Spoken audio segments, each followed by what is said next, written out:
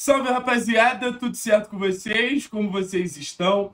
Prévia de Atlético e Palmeiras, um jogo que nesse momento parece muito desequilibrado, né? Já que o Palmeiras chega nessa empolgação depois de ter derrotado o líder Botafogo e entrado de vez nessa briga pelo título brasileiro.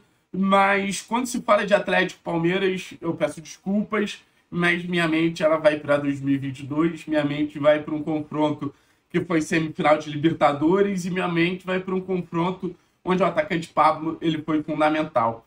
Eu tive o privilégio de estar no Allianz Parque naquele jogo, um jogo que eu nunca vou esquecer. Eu tenho uma memória fotográfica, uma memória mental, assim, de até hoje, aquela bola do Terãs passando pelo Everton e acabando entrando ali no gol, um gol que nos leva para a final, um confronto contra o atual bicampeão da Libertadores naquele momento. Jogo muito difícil contra o Palmeiras, a gente sai perdendo de 2 a 0 a gente acaba empatando o jogo e a gente acaba empatando o jogo graças a um personagem específico. A gente acaba empatando o jogo graças a um personagem que entra, muda o roteiro do jogo, faz um gol, dá uma assistência. E a gente está falando hoje do atacante titular do Atlético, já que a gente não tem o Vitor Roque. Com certeza, se o Vitor Roque tivesse à disposição do técnico Wesley Carvalho, a, a, conversa seria mais ou menos.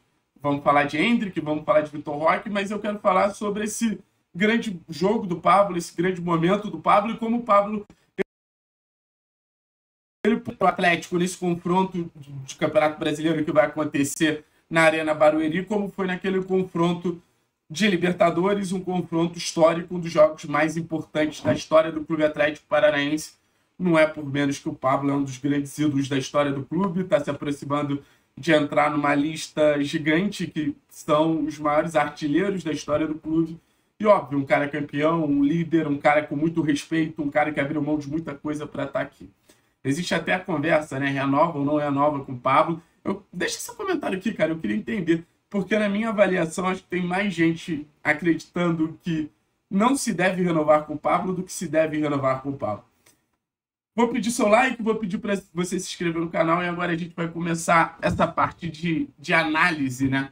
Porque, primeiro de tudo, primeiro de tudo, eu trouxe o, o mapa de calor do Pablo no Campeonato Brasileiro para a gente entender um pouquinho das características do jogador. Hoje o Pablo ele vem sendo o centroavante, né? Como eu falei, com a ausência do Vitor Roque, é natural que o Pablo assuma essa responsabilidade, é natural que o Pablo ele, ele esteja numa posição onde eu não sei nem se é a posição que ele se sente mais confortável, mas ele é o cara mais experiente, ele é o cara mais pronto para substituir o Vitor Roque e ninguém tem dúvida disso. Mas dá para perceber muito a partir desse mapa de calor como o Pablo, durante o Campeonato Brasileiro, ele se posicionou muitas vezes como meia pelo lado esquerdo, ele se posicionou muitas vezes como um jogador de construção mesmo. Um cara que sai da área para construir. Se você me falasse que esse mapa de calor não era de um atacante, sim de um meia pelo, pelo lado esquerdo, de uma rascaeta da vida, eu super acreditaria. E o Pablo ele é muito voluntarioso nesse sentido, né? Acho que até por se sentir muito à vontade fora da área, é um Pablo que não se incomoda de, de pressionar, de marcar, de sair dessa referência para gerar ali algumas vantagens e a gente vai falar um pouco dessas vantagens. Mas repetindo, esse é o mapa de calor do Pablo no atual Campeonato Brasileiro. Agora eu trago o mapa de calor do Pablo nesse confronto contra o Palmeiras, porque eu acho que é um posicionamento muito parecido que o Pablo possa vir a ter, que eu acho que pode gerar problemas para esse Palmeiras. E é engraçado, né? Falando da perspectiva completa do Pablo, a gente fala de um jogador que a torcida do Atlético ela tem suas questões, mas tem uma torcida que tem mais implicância ainda com o Pablo, que é a torcida do São Paulo, porque um ano antes o Pablo ele perde um gol absurdo também numa disputa de Libertadores, Palmeiras e São Paulo, e, e a torcida do São Paulo ela ficou se mordendo, né? Porque com a camisa do Atlético o Pablo decide, com a camisa do São Paulo o Pablo ele acaba falhando. Mas no jogo contra o Palmeiras mesmo, na Libertadores, fica muito claro que o Pablo ele entra ali para ser um meia, para ser um cara na entrelinha. Tem ali o preenchimento na pequena área, foi um cara que até marcou um gol na pequena área, mas o Pablo ele é muito esse cara, que ele tem muita tranquilidade para sair da área, porque se você me perguntar qual a principal característica ou principal qualidade do Pablo, eu não vou falar finalização, não vou falar assim, características de centroavante, eu vou falar inteligência em lances específicos para ele encontrar caminhos mais fáceis para chegar ao adversário, para chegar no momento de assistência. Mas para isso é importante a gente entender esse mecanismo, tanto de um Pablo que tem essa capacidade de preencher a área, como a gente vê nesse meio campo, nesse mapa de calor, como a gente vê aqui também nesse mapa de calor, mas também um Pablo que tem muita, muita, muita liberdade e capacidade de sair da área. Eu vou trazer alguns lances, lances cruciais das participações em gol do Pablo é, contra o Palmeiras naquele jogo da Libertadores, para a gente ver um pouquinho sobre essa inteligência do Pablo e como o Pablo ele foi importante, né? Porque a partir do momento que você tem uma bola saindo ali da, da, da área do Atlético, porque a bola estava toda a área do Atlético, acontecem os passos para trás até a bola chegar no pé do Fernandinho. O que, que acontece nesse lance que é muito curioso? E acaba credenciando o momento da finalização. O Gustavo Gomes ele sai da área para tentar se posicionar numa situação onde ele possa bloquear o passe do Fernandinho e o Pablo não. O Pablo ele fica até numa certa distância do Gustavo Gomes, sabendo que essa bola ela podia entrar nessa zona mais próxima do Everton. Então foi muito inteligente do Pablo também não sair correndo junto com o Gomes para se apresentar para jogar, esperar a jogada acontecer, porque essa distância ela vai ser fundamental para no momento de finalização o Pablo ele tá melhor posicionado que o Gomes. Porque a partir do momento que o Gomes ele está muito à frente, ele tem que correr muito, ele passa da bola e o Pablo está na condição de, de, de empurrar a bola para dentro do gol depois da assistência ali do Vitor Roque. Então, acaba sendo um lance bem, bem interessante, cara.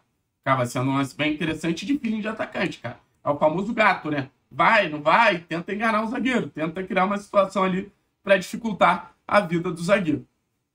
E outro lance que eu trago é o gol do Terence. Para quem não, não, não tinha percebido ainda, o gol do Terence contra o Palmeiras é um lance onde o Pablo ele atrai dois marcadores da equipe do Palmeiras para deixar o Terence livre. Então é mais um lance de inteligência, só que agora de uma mudança de perspectiva. É um Pablo agora fora da área. Então essas duas versões do Pablo, que é o Pablo centroavante, mas também esse Pablo construtor, esse Pablo mais meio, esse Pablo que chega para ajudar o time a, a ter alternativas, eu acho que vai ser muito importante. Porque eu vejo o Atlético buscando ter a bola contra o Palmeiras. Diferente até desse jogo, que a gente só passa a ter a bola em um momento de desespero, eu acho que se o Atlético não tiver a bola contra o Palmeiras, o Atlético vai sofrer. Porque o Atlético não consegue se defender de maneira segura ao ponto de segurar esse Palmeiras que vem extremamente empolgado. Então, para mim, a principal estratégia é segurar a bola. E não adianta o Pablo ficar isolado lá entre os zagueiros do Palmeiras, mesmo não tendo Gustavo Gomes, não, mesmo não tendo Murilo. A melhor situação ali para o Pablo, qual é? A melhor situação para o Pablo é sair, ajudar a construir, gerar vantagem numérica nas zonas das jogadas e acompanhar as jogadas para, obviamente, ele também estar tá no momento de finalização. Para ele também estar tá no momento onde ele possa finalizar as jogadas, completar as jogadas e, quem sabe, marcar mais um gol aí contra a equipe do Palmeiras. Mas eu acho que esse perfil do Pablo de ser dois atacantes em um, em algum momento um 9 que vira um camisa 10, eu acho que vai nos ajudar muito nesse jogo. Já nos ajudou em um dos maiores jogos da nossa história.